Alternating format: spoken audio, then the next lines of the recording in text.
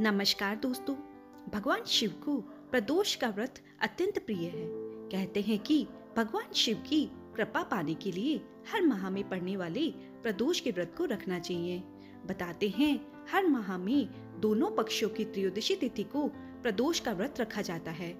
इस दिन भगवान शिव और माता पार्वती जी की पूजा विधि विधान से की जाती है। दोस्तों, हिंदू पंचांग के अनुसार हर महीने की कृष्ण और शुक्ल पक्ष की त्रयोदशी तिथि को प्रदोष का व्रत मनाया जाता है।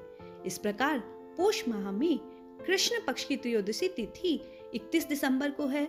इस दिन भगवान भोलेनाथ और माता पार्वती जी की पूजा अर्चना की जाएगी।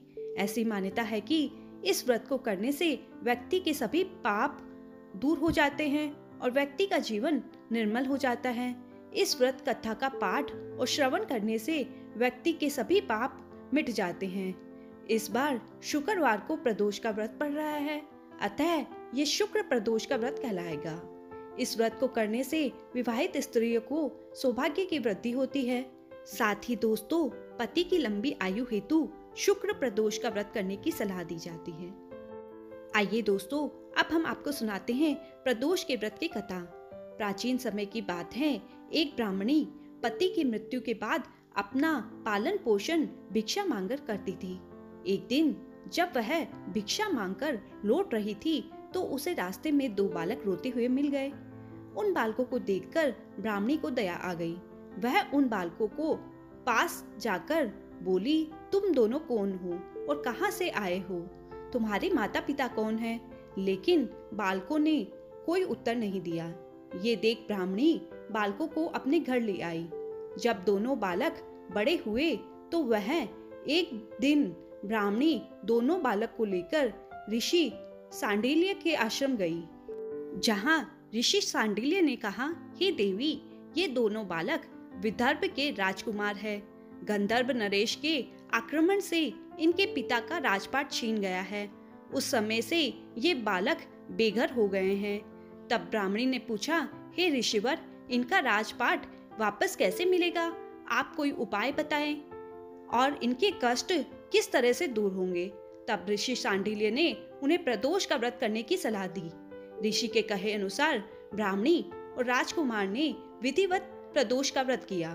कालांतर में एक दिन बड़े राजकुमार की मुलाकात अंशुमति से हुई। दोनों एक दूसरे को चाहने लगे। उस समय अंशुमति के पिता ने राजकुमारों की सहमति से दोनों की शादी करा दी। इसके बाद दोनों राजकुमार ने गंधर्व सेना पर आक्रमण कर दिया। इस युद्ध में अंशुमति के पिता ने राजकुमारों की मदद की। युद्ध में गंधर्व नरेश की हार हुई।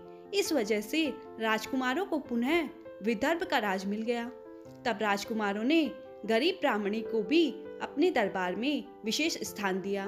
प्रदोष व्रत के पुण्य प्रताप से ही राजकुमार को अपना राजपाट वापस मिल गया। और ब्राह्मणी के दुख दूर हो गए। अतः प्रदोष का व्रत का विशेष महत्व है। इसलिए दोस्तों, मान्यता है कि इस व्रत को करने से व्यक्ति को धन, संपत्ति, सुख, साधन आदि प्राप्त होता है।